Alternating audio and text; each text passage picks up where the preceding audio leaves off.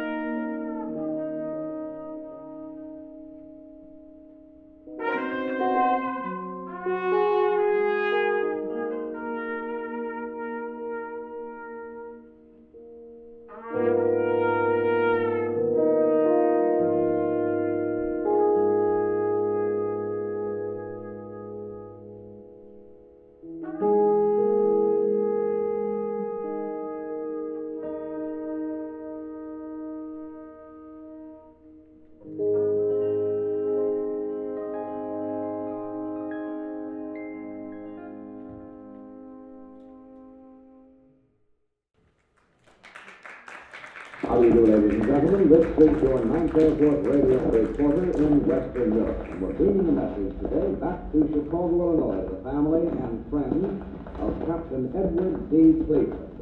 Chicago boy who has a funny story to tell you about life over here in the skies over the European theater of operations. I'll bring back to you for a few moments for the magic of radio. First of all, Captain, what did you do previous to coming in the service? Just previous to coming into service, I was a student at Western Michigan College in Kalamazoo, Michigan. Uh, they play pretty good basketball up there. Yes, too, they do. days, I remember. How long have you been in the service? I've been in about three years, And how much of that time has been spent overseas? just one year. Well, now, Ed, will you tell us something about your present duty assignment over here with the Ninth Air Force? I'm a pilot on the A-26, the uh, New Invader. And uh, how do you like that airplane? Very good airplane. Now, I noticed that you have been awarded uh, the Air Medal and also the Purple Heart. Uh, how many missions have you flown? Uh, 45. And uh, that's a lot of time in the skies, not?